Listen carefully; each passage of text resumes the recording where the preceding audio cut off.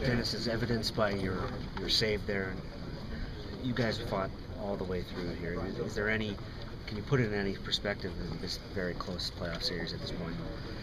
Well, um, they played us very well. They uh, never really gave us momentum.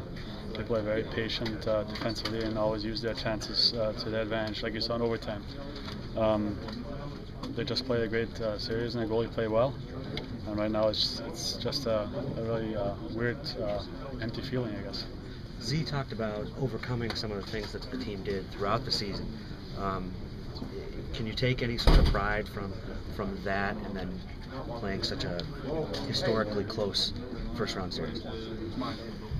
Yeah, I mean, uh, you always keep growing with uh, with the team when you go through adversity. And this year, like uh, Z said, it was uh, we had tough times. We we battled through them, and um, the only thing you can take out of it is uh, um, you gain experience and hope uh, to do better the next time it comes around. So that's about it. Playing to the whistle, playing full 60. Can you take us through that play that, that you made the, the, the kick save there? Well, I had no stick, so I was looking. I mean, I saw their D winding up for a shot, and most of the times they they're looking for uh, the winger. Uh, I think it was Ovechkin there on the on the seam pass, and um, we've been watching a lot of lot of video, and we know their tendencies. And all you do is try to keep uh, yourself in a shooting lane and try to block that shot, and that's what happened. I got lucky.